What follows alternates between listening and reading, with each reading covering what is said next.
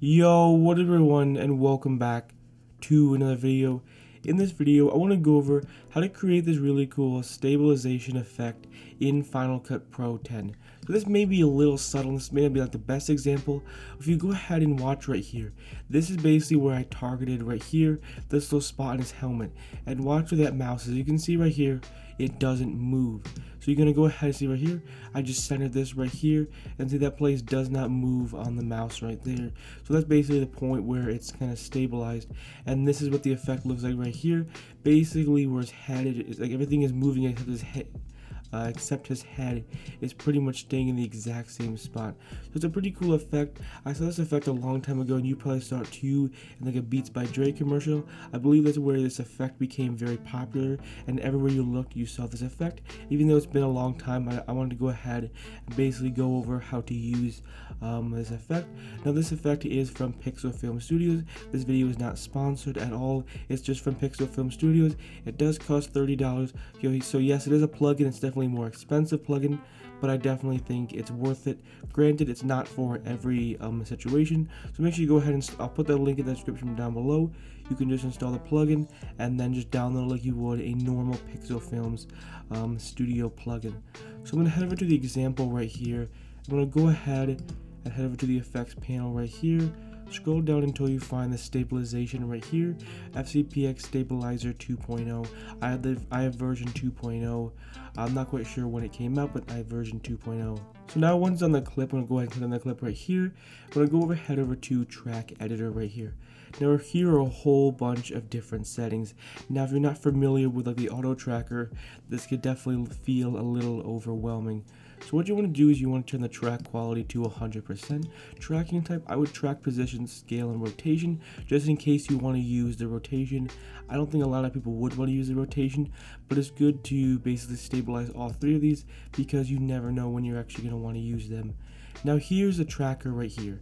Now I'm to go ahead and move right here and you could use these controls right here. Go ahead and press on here to basically just get a much closer view. Click off the hand to basically select it right here. So I'm to go ahead and just make a selection. See where this little point is right here?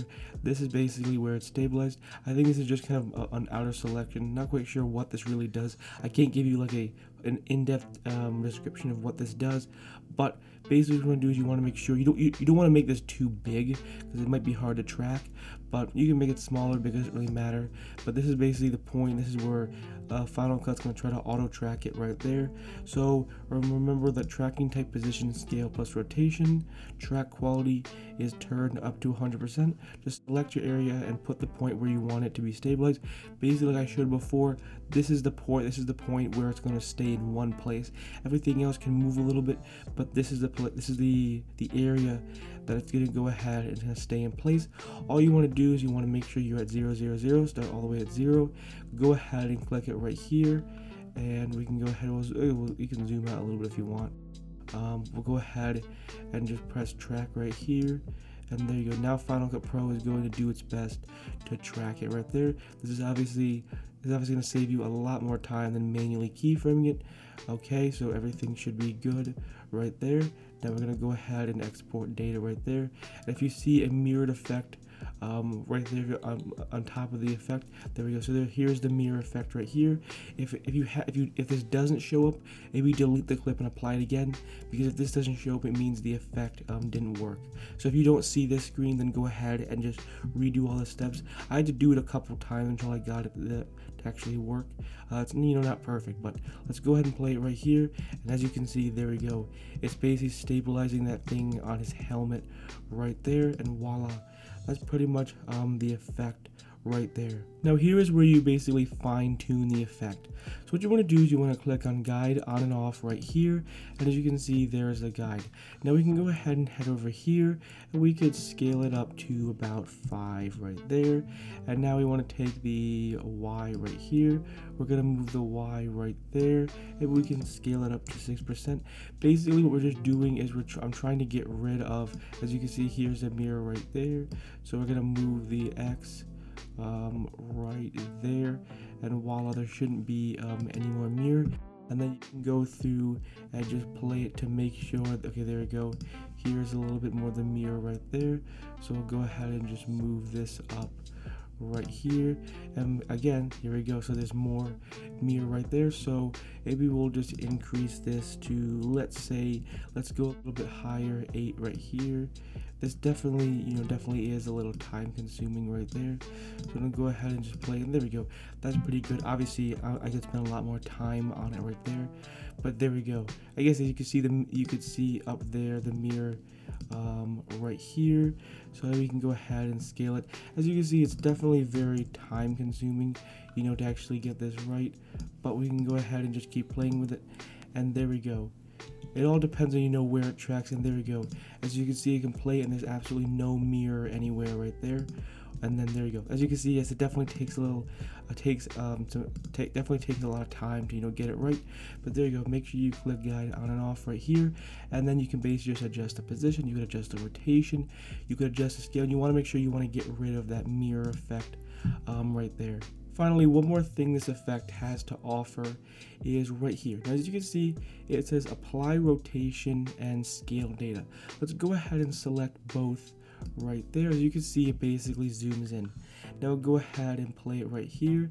And as you can see, there we go. That's the effect right there. Okay, so let's say we don't want the rotation data. As you can see right here, it's shifted back. It still is scaled up right there, and then you have a really close scaled up shot. But let's say you don't want that close scaled up shot. Let's go ahead and deselect it, but you actually do want the rotation effect. I would honestly encourage you to not use this. I don't think it looks good, um, but that's of course up to you. So you can see right there, as you can see, it's shaking a little bit. Now we're also seeing some mirror right here, as you can see right there. I'll go ahead and play it right here. Some of the mirror shows up so it's basically rotating too that's why in the beginning we had a like uh, the position scale and rotation just in case you wanted that.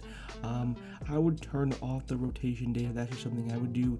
Scale could definitely look cool um, but maybe you, you could try the scale data but I definitely wouldn't apply the rotation data that that is just my personal um, preference. Now if I really went for it I probably wouldn't select any of these but that of course is all up to you.